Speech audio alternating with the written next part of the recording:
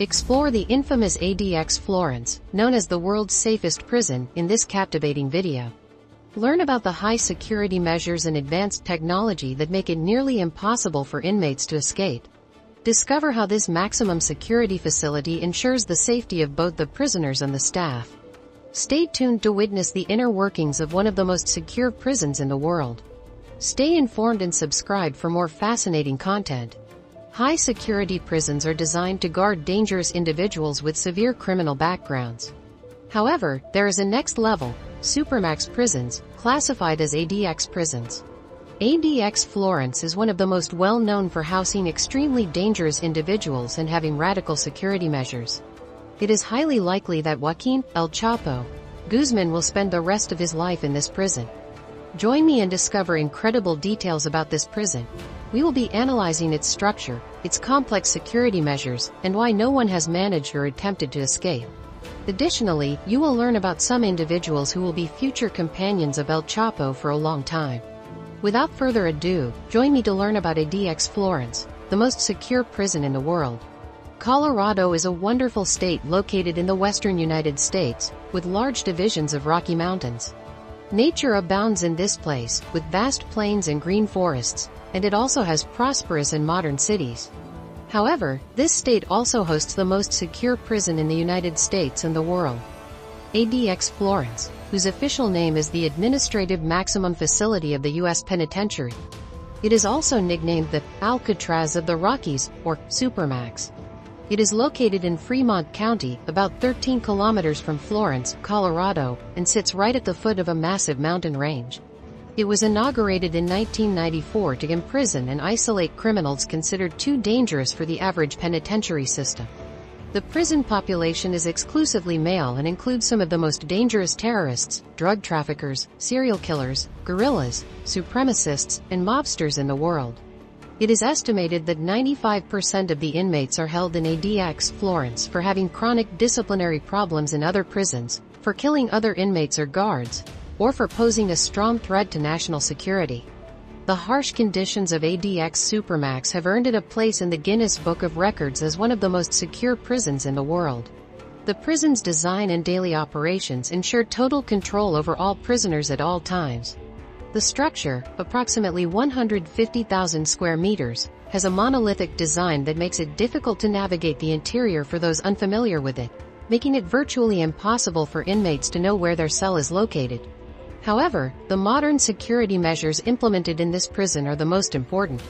Whether inside or along the outer perimeter, there is always a security measure. There are about 12 sniper towers that are on guard 24-7, 365 days a year watching every tiny movement outside the prison. In addition, there are strategically distributed security cameras to avoid any blind spots, attack dogs, laser technology, and motion detectors installed in key locations, and pressure-sensitive plates located just beside a nearly 4-meter barbed wire fence. There are over 1,400 steel doors that are remotely controlled, and if there is even a slight suspicion of an escape attempt, pressing a panic button is enough to completely seal the prison. Nothing gets in and nothing gets out. When an individual arrives at ADX Supermax, they are placed in one of the six prison units, depending on their criminal background. Unit H is specifically designed for terrorists, and others like Range 13 are ultra-secure, isolated cells for misbehaving inmates, who are subject to many more restrictions than others. To be transferred to less restrictive units, inmates must maintain good conduct for a specific time and achieve a positive institutional adjustment. This does not mean it is any less restrictive. Inmates spend at least 23 hours a day locked in their 2 by 3.6 meter cells, which have solid, soundproof walls that prevent contact or communication with other prisoners. The doors are made of solid steel with a small slot for food and have an interior grated wall with a sliding door that is remotely controlled. The cells are equipped with a bed, a desk, and a chair, all made entirely of concrete, and have a stainless steel sink and toilet. There is no dining hall or cafeteria. Meals are delivered to each cell three times a day by guards. Inmates in range 13 are isolated from other inmates at all times and for prolonged periods often lasting six years or more. Their only significant contact with other humans is with the prison guards. During the first three years, ADX inmates remain isolated in their cells an average of 23 hours a day. The most secure cells have remotely controlled doors leading to pathways colloquially called corrals, which open to a private recreation area. The so-called empty pool is a concrete area with skylights where inmates go alone. Then they can only take about 10 steps in any direction or walk about 15 meters in circles, always monitored by dozens of guards. Many inmates who have been confined in ADX Florence describe it as hell, but a cleaner version. The prison operates under a very powerful strategy that many experts consider torture, solitude. To this, we must add extreme sensory deprivation.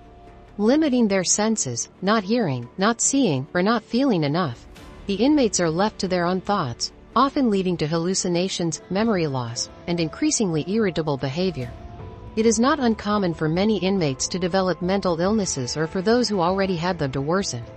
To date, the prison houses more than 400 of the most violent criminals and is the number one detention center for convicted terrorists. The personalities we can find in ADX Florence are diverse. Here are some of them. Zacarias Moussaoui, an Al-Qaeda operative who played a key role in the 9-11 attacks, he is serving six life sentences. Simon Trinidad, a former member of the Colombian FARC, who was involved in the kidnapping of three American military contractors. Ramzi Youssef, an al-Qaeda member and mastermind of the 1993 World Trade Center bombings. Robert Hanssen, a former FBI agent convicted of espionage in passing classified information to the Soviet Union for over 20 years. He is currently serving 15 life sentences. Michael Swango, an American serial killer who was involved in poisoning with lethal injections 60 colleagues and patients.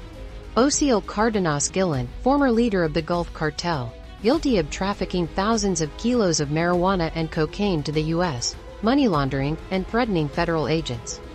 Barry Mills, one of the leaders of the Aryan Brotherhood, convicted of armed robbery but has committed multiple murders inside penitentiaries, an extremely dangerous individual. Noshir Gowadia, engineer and designer of the B-2 bomber, convicted of sharing classified information with the People's Republic of China in the production of cruise missiles. Juan Garcia Abrego, a Mexican drug trafficker and former head of the Gulf Cartel, serving 11 life sentences. Luis Felipe, former leader and founder of the New York gang Latin Kings, accused of drug trafficking and multiple murders inside and outside prison. Theodore Kaczynski, known as the Unabomber, guilty of manufacturing explosives and sending them to end the lives of three people. Francisco Javier Arellano Felix, one of the leaders and founders of the Arellano Felix cartel, accused of moving thousands of kilos of marijuana and cocaine, committing acts of violence and corruption. Terry Nichols, convicted of the Oklahoma City bombing where 168 people died. He is currently serving 161 life sentences. Now, the trial of the century, which lasted for months and where irrefutable evidence was presented, declared Joaquin El Chapo Guzman guilty of 10 counts, including drug trafficking, money laundering, and possession of firearms. It has been proposed to Judge Cogan that El Chapo serve his sentence in ADX Florence due to his escape history and the threat he poses to national security. Whether or not he is taken to ADX Florence, Joaquin Guzman Loera will never again see the light of day and will spend the rest of his life locked up in a maximum security prison in the U.S. However, El Chapo, Guzman will not be the only renowned Mexican criminal in ADX Florence, as he will share the prison with Osiel Cardenas Guillen, former leader of the Gulf Cartel, and Francisco Javier Arellano Felix, leader of the Arellano Felix cartel. That's all for now. I hope you enjoyed the video. If you did, Share it with your friends and don't forget to subscribe to stay updated with upcoming videos.